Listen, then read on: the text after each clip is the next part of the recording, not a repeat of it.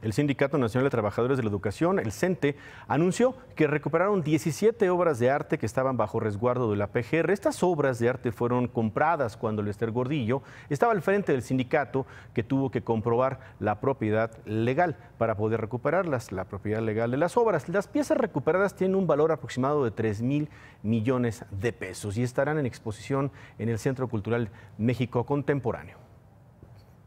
17 obras de gran valor cultural, histórico y artístico, entre las que destacan cinco obras de los 21 paneles originales que el muralista Diego Rivera pintó en la New Workers Sport en Nueva York en 1933.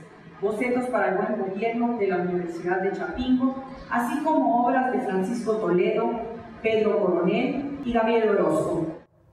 Pero Marco Antonio del Toro, abogado de la maestra Lester Gordillo, habló sobre este tema. Dijo que estas obras no fueron recuperadas porque la propia Lester Gordillo ya las había puesto a disposición del sindicato, pero ¿qué cree? Que el sindicato no quiso recibirlas. Marco Antonio del Toro explicó que las 17 obras se adquirieron para el proyecto Ciudad del Conocimiento, un proyecto que fue aprobado por el Congreso del Sindicato.